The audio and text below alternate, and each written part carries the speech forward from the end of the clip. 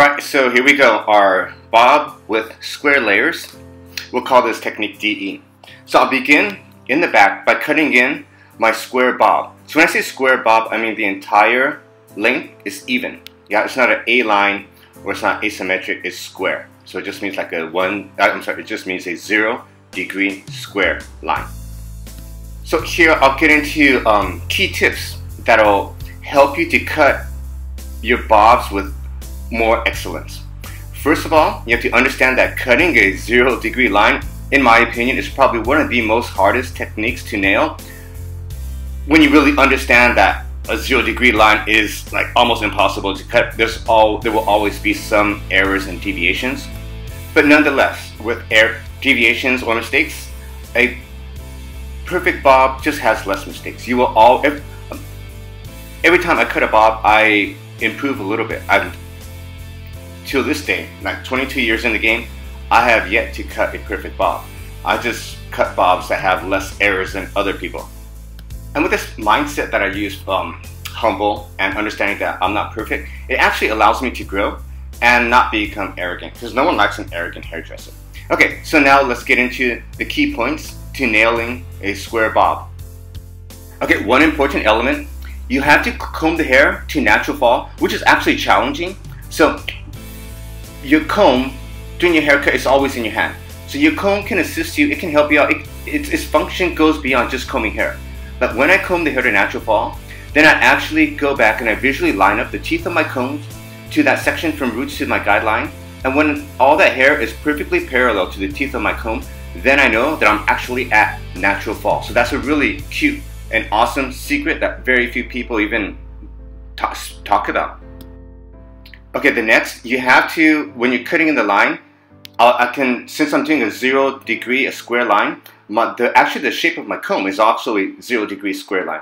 So I like to use my comb to first line up my lengths, and then I'll start cutting on my comb, or at least use my comb to help me get that balance in that shape.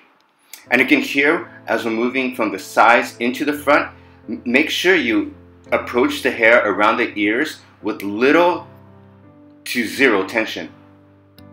Okay, and make sure your eyes are exactly in front of what you're cutting. Like, only in this position are you able to see these important details.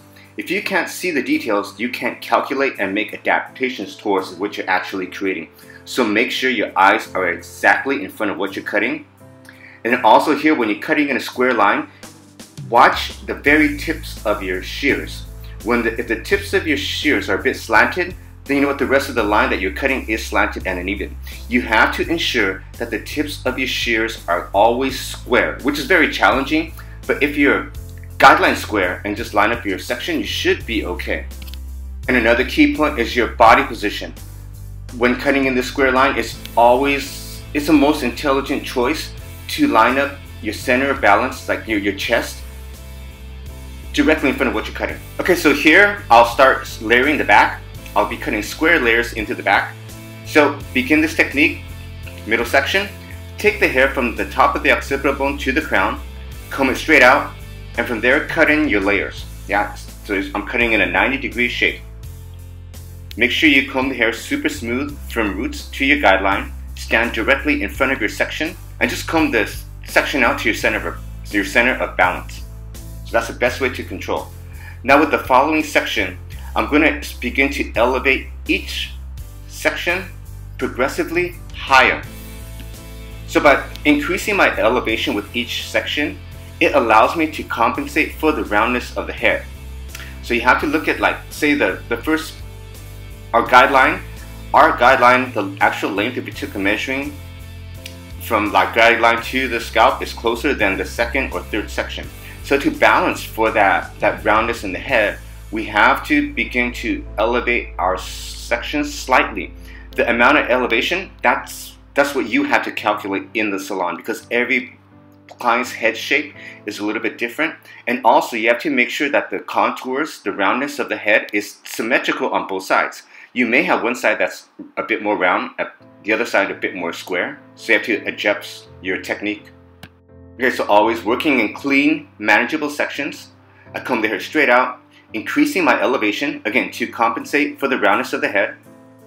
and I'm just checking in my lengths. So remember, my guideline, I cut the hair from the occipital bone, the highest point of the occipital bone's protrusion, to right at the center crown area. So the final section here, I'm elevating a bit more. Most of my shape's dropping out, so I just dust it into place, comb the hair to natural fall, make a visual assessment. Okay, there we go. Okay, so here I have to approach the opposite side in the ex exact same manner. So remember, clean, manageable sections. Careful of your body position. Comb the hair straight out. And with your second section, remember I elevate this section slightly higher than my guideline to allow for the roundness of the head. And you can hear through the back, I'm cutting in a 90 degree shape. I'm cutting in layers, yeah? Okay, so here we're working the exact same manner. So it's always to remember like the exact same technique I did on the right and I have to calculate like I have to make sure that my elevation over direction is consistent. So here I'm cutting on the outside of my fingers. You can approach it two ways. Um, if I were cutting on the inside of my fingers I'd actually be standing directly in front of what I'm cutting. But for the shooting this video sake um, it's easier for you to actually see the over direction elevation at this angle. So I decided to approach the back portion of this haircut, cutting on the outside of my fingers. It can be produced in both ways, but the difference is I feel, I know 100% that when I'm cutting on the inside of my fingers, it's a bit more challenging. There are a lot more details to calculate, and the end result, when you cut on the inside of your fingers, it's more excellent. I find when I'm cutting on the outside of my fingers, my margin of error increases dramatically just because um, the natural tendency to over direct the hair, over directing the hair off, I'll, I'll have more of a tendency to make a lot more mistakes. So I personally prefer cutting on the inside of my fingers, but it can be executed both. Taking this awareness into fact, when you're in the salon, you can also just flip the chair around, line up the head with the mirror, and then use the mirror for your balance, and that should compensate for cutting on the outside of your fingers.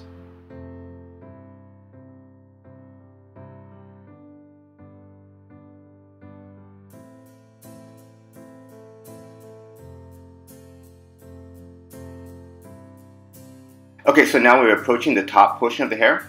So here, I take the hair from the back, and at the crown I comb the hair straight up, and then here I'm cutting in a graduated shape.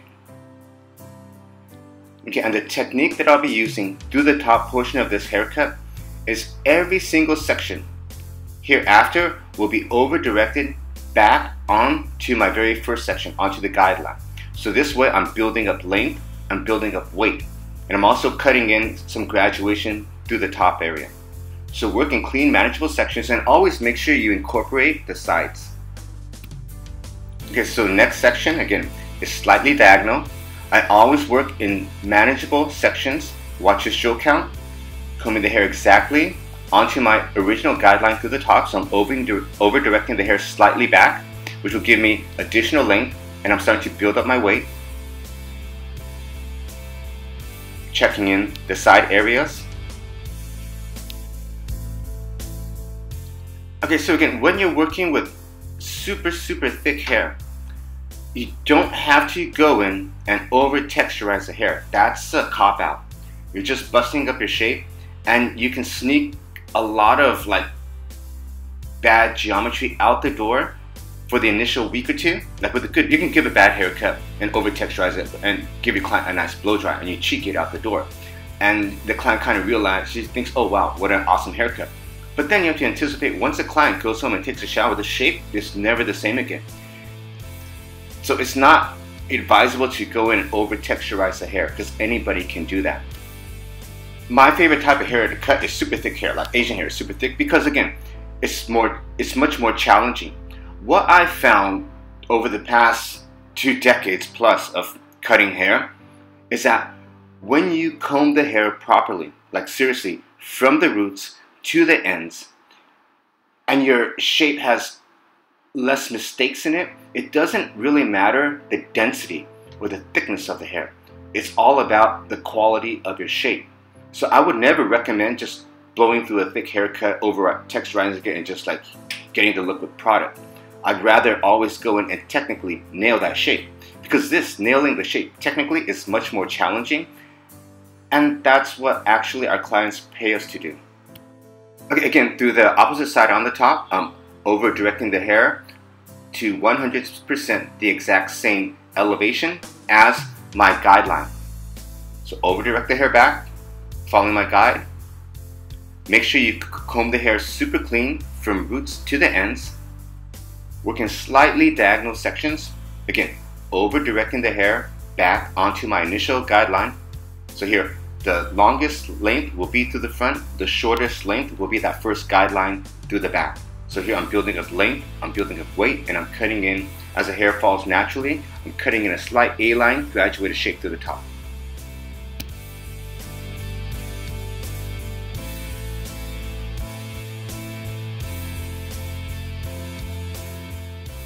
Okay, and now for the finish, I'm just flat wrapping the hair.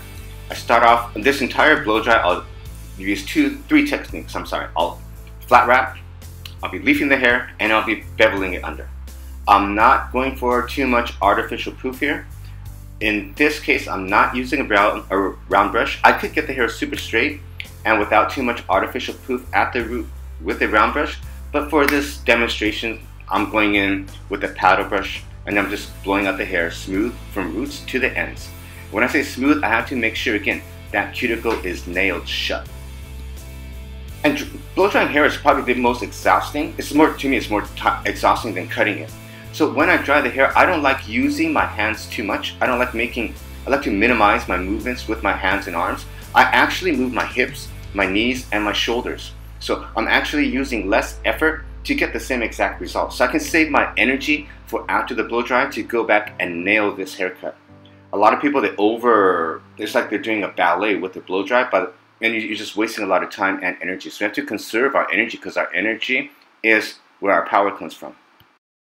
Okay, so here I'm just going back, I'm polishing our one length. So you have to understand that the hair always, always, 100% of the time, no matter what, this hair will always lie different, wet and dry. So it really doesn't matter how perfect the shape looks when it's technically cut wet. Once you're dry, you must, I repeat, you must go back and refine that line. Okay, so here I'll just go back and I'm just texturizing into my shape. I'll do a visual cross check. If I see any odd way, I'll just knock it off. And I just, here I'm just pointing into my shape. I'm not, again, removing length, I'm removing heaviness. I want the hair's density to be consistent. I, it, I must be able to comb the hair comfortably from roots to ends. That's the standard, that's the indicator that tells me, okay, I've textured enough and the density is consistent. Now when you're texturizing the hair, again, always keep the density in mind. And as I texturize the hair and go through it, I like to approach it similar to the same way that I technically cut it, the way it was cut when it was wet. So that way, if we pull the shape out, I can visually cross-check. If I see any weight, I can just knock it off in the cross-check and then immediately flip back to my texturizing. So that way, I'm actually doing two processes at the same time. So you kind of streamline your technique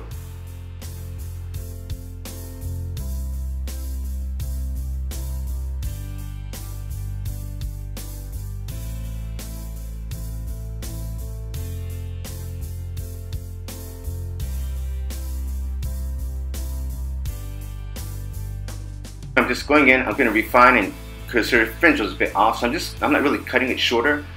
I'm just cleaning up that line, cutting in a proper fringe, and I'll go back and texturize it. Okay, so there we have it, our square bob with square layers. Enjoy.